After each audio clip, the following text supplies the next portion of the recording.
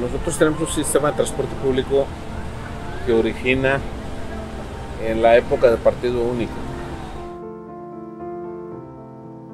Las paradas no están fijas, o sea, no son claras, eh, pues por lo tanto no son paradas accesibles.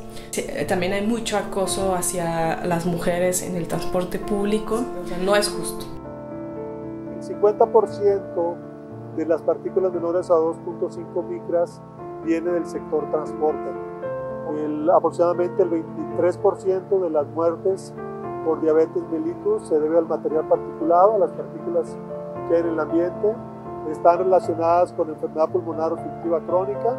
Ahí es como el 25% de las personas que mueren. Estamos haciendo una revisión del transporte público.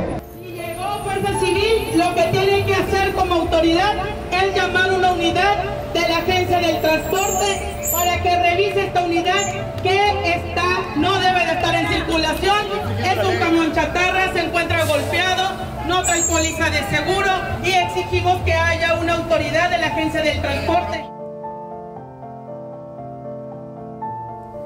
En realidad, todo este proceso de la ley de movilidad no se gestó porque hubiera como un reconocimiento, una conciencia de que necesitamos movernos mejor. En realidad, como sucedió, es que el gobierno actual lleva cuatro años, eh, digamos, en bronca, el Bronco lleva cuatro años en bronca con los transportistas. Pues al ciudadano no le llega toda la información, desafortunadamente. ¿Por qué? Pues porque siempre hay agendas